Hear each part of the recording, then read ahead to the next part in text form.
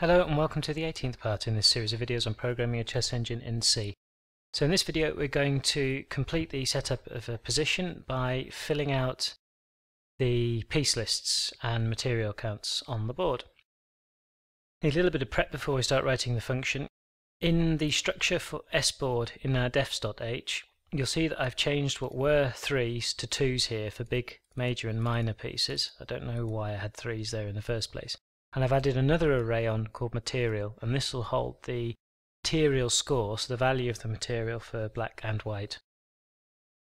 The next thing is a little bit of typing in to do that I've already done here.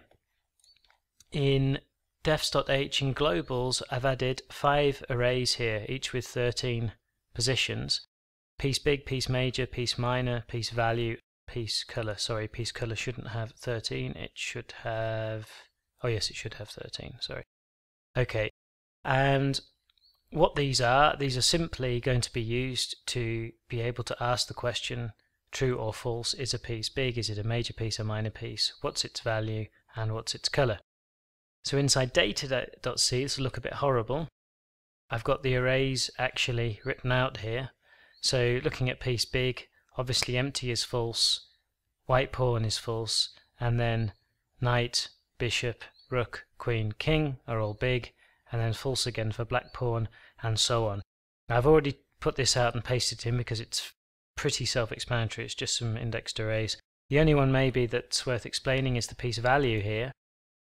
And in chess you may have heard that people tell you that a pawn is worth one point, a bishop knight three points, a rook five points, a queen nine points.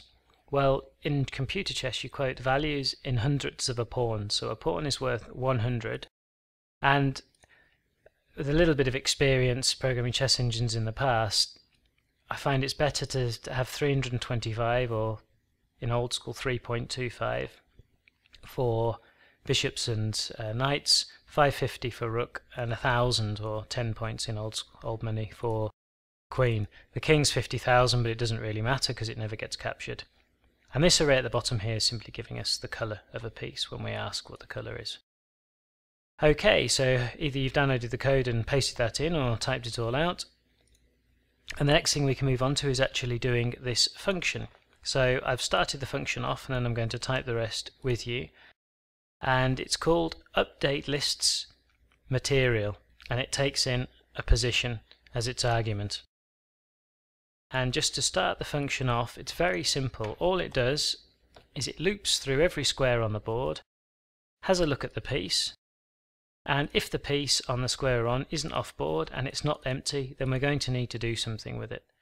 So all we do is we say if piece big and index by our piece equals true, then position big piece for the oh one more thing I need to add actually sorry is color and it's better if I set color equal to piece color, the array that we've just done, because these arrays in the board position are indexed by color.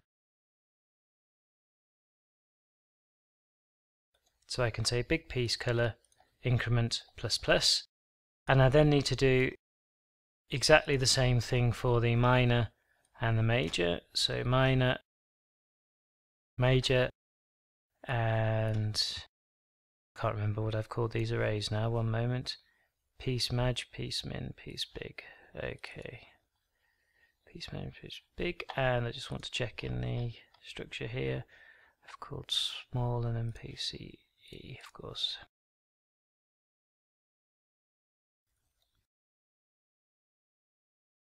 Okay, so that sets up the counters for our pieces. Now what we want to do is set the material.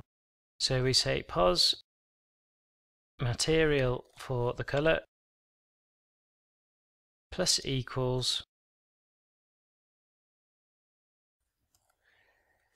piece value for our piece, which will set the material up quite nicely. And what else do we need to set up? Now we've just got the piece list. Okay, so for the piece list, it's actually quite simple. It's just you need to think of the way the indexing works. What we need, what we have in our piece list, sorry, I go back to defs here, is an index system here where we say we've got a white pawn and then we've got the piece number here. Okay, so bearing that in mind, we can simply say pos plist of our current piece type. And now we need to know the piece number. Well, we have pos piece number also for our piece type. So say in our example it was the first white pawn, well at the moment we have zero white pawns, so we would be storing this value at index 0. And we set that equal to square. So say our first piece was a square on A1, we will be setting this to A1. And now all we need to do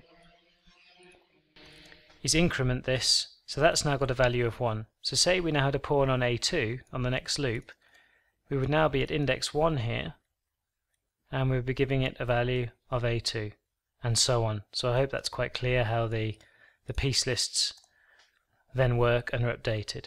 And the last thing we need to do, we need to say if piece equals, let's say white king, then we'll set pos king square, and I can't remember whether I use capitals or lower, I use capitals.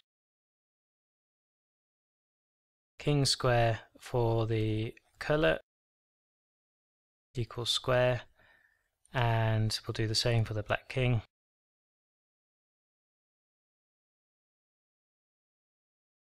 fact, can just do white and black here. And that should be it. That's simple as to set our piece lists up, set our material counters up, our piece type counters up, and the king squares. And in fact, it's just dawning on me that with this piece list system here, which is indexed by piece type, probably redundant with these king squares here, but anyway, we can always remove those at a later date. Good, so the one thing that's remaining is, is to take this function defin here, definition here and shove it into here, just in case we need anywhere else in the program later on. If we don't, we can always remove it. And that's it. I'll just type make for this, just to check that hopefully it compiles. It does. Held my breath there.